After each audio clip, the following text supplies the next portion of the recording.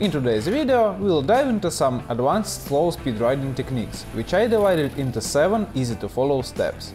Each step builds one upon other, and if you follow all 7 one by one, you will dramatically decrease the chance of dropping your motorcycle on slow speed, reduce your turning radius, so you can ride in much tighter spaces, and you will become much more confident on your bike at slow speed. Also, you'll get deeper voice, bigger biceps and better erection. But I don't guarantee it though. All jokes aside, we use this 7-step approach in our courses a lot. And once people start to get all the theory behind it, they radically improve just in a couple of hours of practice. Sounds great! Let's do it!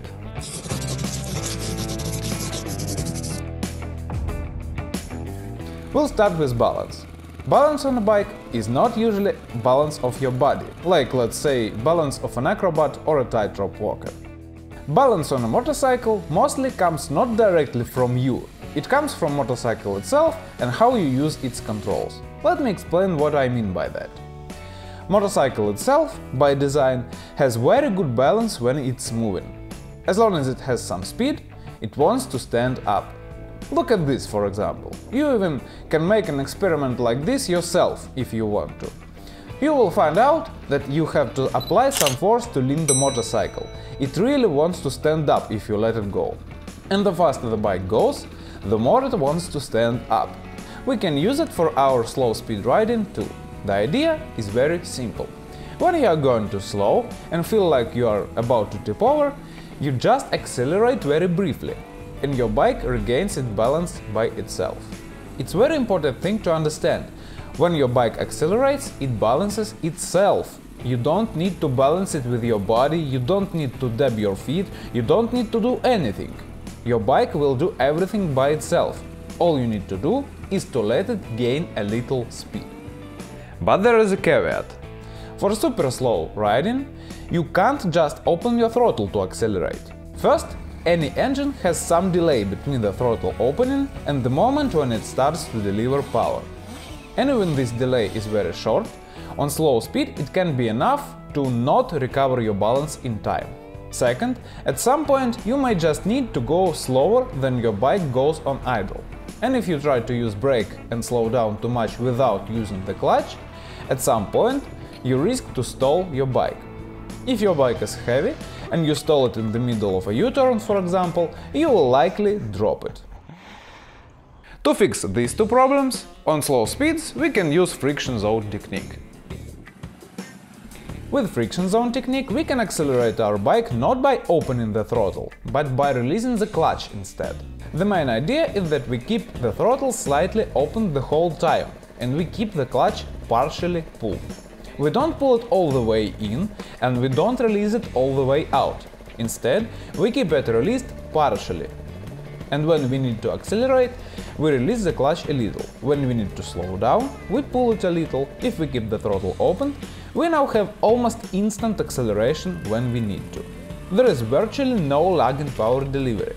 As soon as you start releasing the clutch, your bike accelerates right away. And obviously, since you don't release the clutch all the way, you can't stall, as long as you keep your revs up. With all that being said, what we do when we ride at slow speeds is when at some point we lose the balance, we can just release the clutch a little and our motorcycle will accelerate and stand up. Easy, right? You'll never have to muscle your bike upright ever again. You just move your fingers slightly and that's it. It's in balance again. Pretty good deal, if you ask me. But we can make it even better if we add some rear brake to the mix. Now, uh, there are a lot of instructors who teach to drag rear brake the whole time during the slow speed maneuvers, but I personally don't like it. Dragging the rear brake the whole time overheats and wears out your clutch pretty fast. It overheats the rear brake system, sometimes up to the point when it starts to boil, and your engine has to work and produce more heat too. For all those reasons, I prefer using the rear brake just as an addition to your clutch. To slow down, Pull your clutch in just past its engagement point, when it no longer pulls you forward. And additionally, you can add just a little bit of rear brake to slow down faster. And when you need to accelerate and balance your bike, release the brake and release the clutch a little. I find it much better than if you just drag the rear brake the whole time. It takes like this much more time to learn it, but it'll be much easier on your bike's clutch plates and rear brake.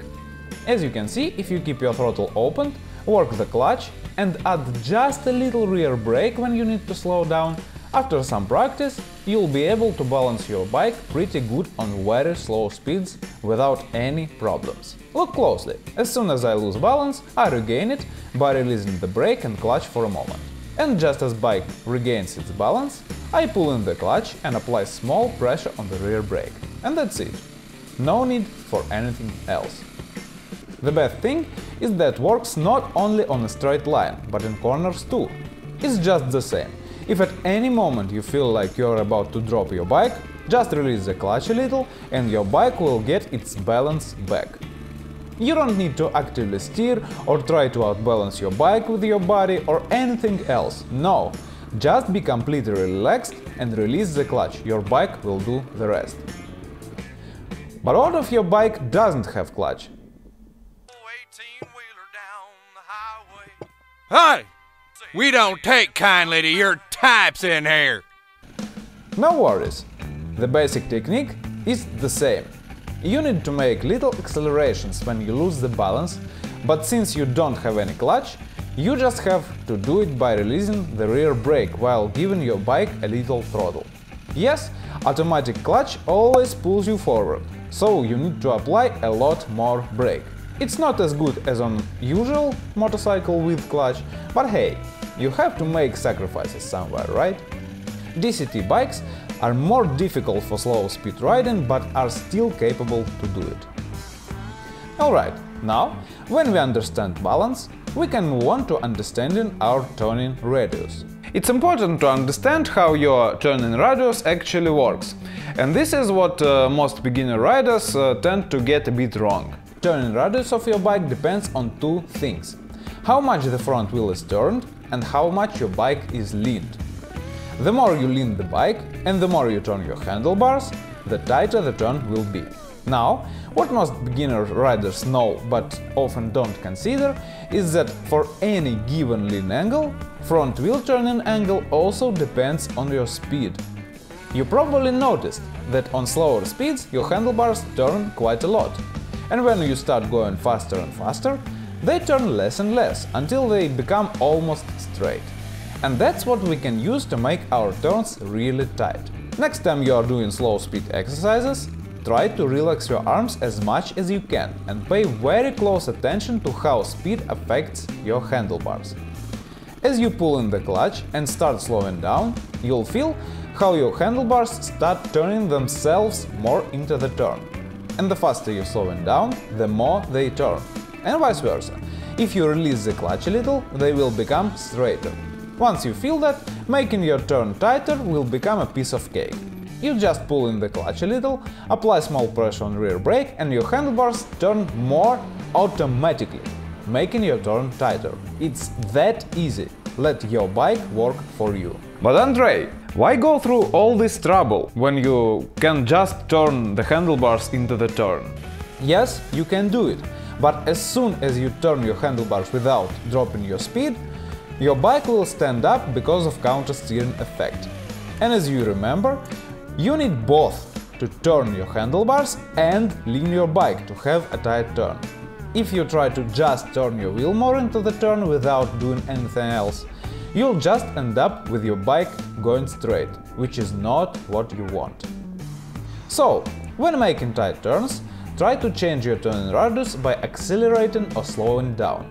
If you need your turn tighter, pull in the clutch, apply rear brake, slow down, and your bike will automatically make a tighter turn. And to make turn wider, release the clutch and rear brake, and your bike will go wider. Very simple. Eventually, when you try to make your turning radius smaller and smaller, you'll end up in a situation when your handlebars are in full lock position, when they can't turn any further. As you remember, the front wheel of your bike constantly makes little self-steering to stabilize the bike. And when it goes full lock during the turn, obviously it can't do it anymore. So at this moment, you will probably feel that your bike is becoming very unstable and it's ready to tip over. But don't worry. Your clutch is at rescue as always. Just release the clutch a little, your bike will gain some speed and, as we already know, this makes your front wheel go straighter. That's one way.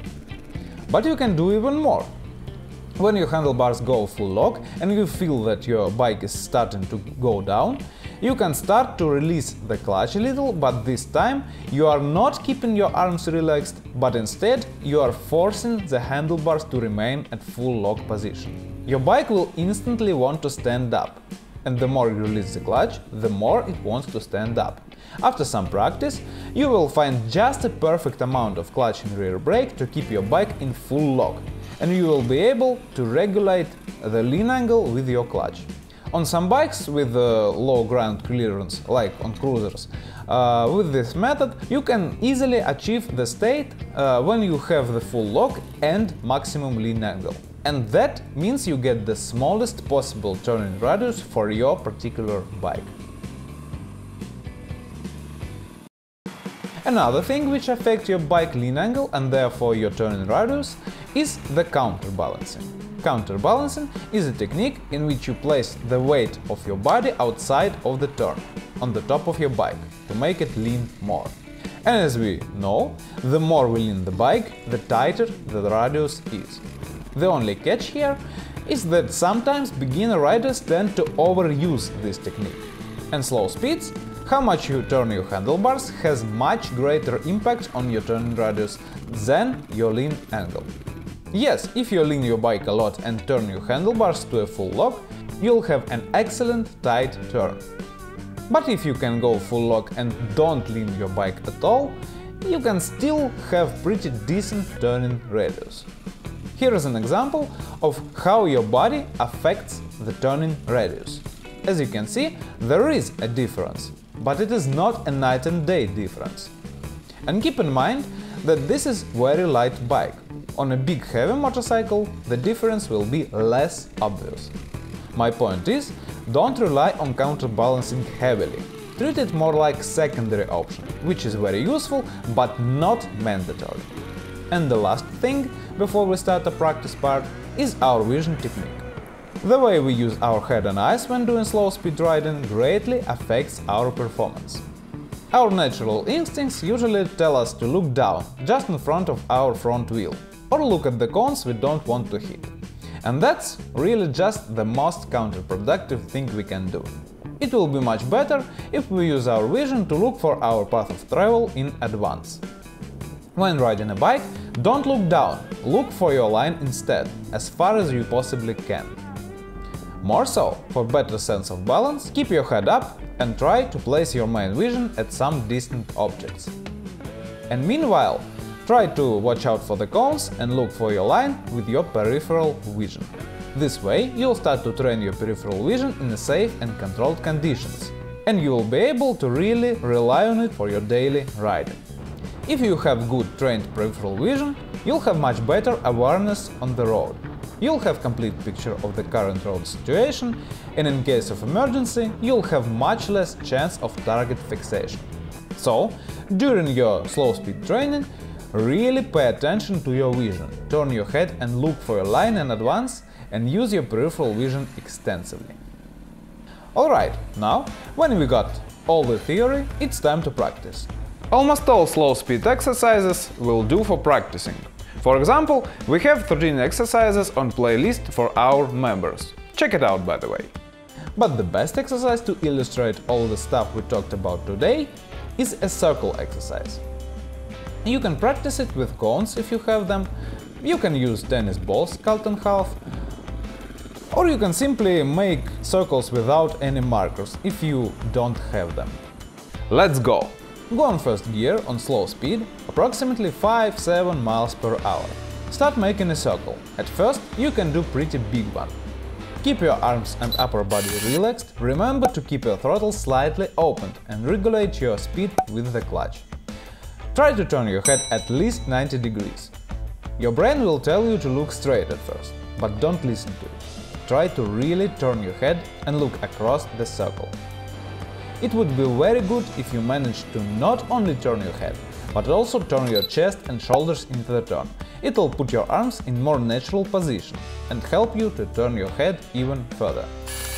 Now, try to slow down gradually by pulling in the clutch a little and applying very light pressure on rear brake. Pay close attention to what happens with handlebars. If you keep your arms loose and relaxed, you'll notice that your handlebars are turning more and more into the turn. And when you start releasing the clutch and rear brake, you'll see how your handlebars become straighter. Try to experiment with the clutch while going in circle and really get used to how your front wheel responds. Pull the clutch in more and more until your front wheel turns to a full lock. As soon as you reach full lock, you'll feel that your bike starts to tip over. As soon as you feel it, release the clutch a little and your bike will become balanced again. Now you just have to repeat this process over and over again. Try to reach full lock more and more. Eventually, you will be able to go full circle with your handlebars at full lock position. Your circle at this point should look like this. Head turned at least 90 degrees, chest and shoulders turned into the turn a little, arms and the whole upper body should be relaxed. You don't need to actively steer, all the steering should happen automatically as you accelerating or decelerating with your clutch. If you use rear brake, use it very gently. Try to keep your vision up, look far at the distance, don't look down. If at any moment you feel like your bike is going down, release the clutch a little and release the rear brake. If you manage to do everything right, soon you'll be able to make very tight turns on any bike regardless of its weight. And probably you'll start to save some money on your footwear, since you'll never have to drag your feet ever again. Very nice. Now, all we have left to do is go over some typical mistakes, so you not only know what to do, but also what not to. First of all, pay attention to your vision. A lot of times students tend to stare down under the front wheel. Remember, there is nothing interesting there. You should look over your shoulder at least 90 degrees and find your line in advance. Second common mistake is when rider turns his head, but keeps staring down at the pavement. Don't do it, this way you'll just have your head spinning. Keep your chin up and look far at the distance. This way you'll have much better feel for balance. If you choose to practice with cones, you may encounter the next mistake – turning into the circle too soon. If you enter too soon, you may run out of space later. To fit into the circle, you better track your front wheel alongside the cones for some time. This way you will have more space inside the circle. It may seem like insignificant nuance, uh, but actually, if you get into habit of planning your line in advance, it'll come in very handy for your daily riding. Next common mistake is when rider goes too slow and fears to lean the bike. Remember, there is nothing to fear. At any moment if you feel like your bike is going down, just release the clutch a little and it'll stand up. As soon as you develop this habit, your fear level of dropping your bike will reduce 99% and will be almost completely gone. Your clutch control is seriously one of the most important things for confidence on slow speeds. If you would like to know more about friction zone and how to operate your clutch, here is a video about that. And here will be the video about how you can avoid burning your clutch when you're practicing the friction zone techniques. Well, I think that's it for today. If you like these videos, please like, share and subscribe.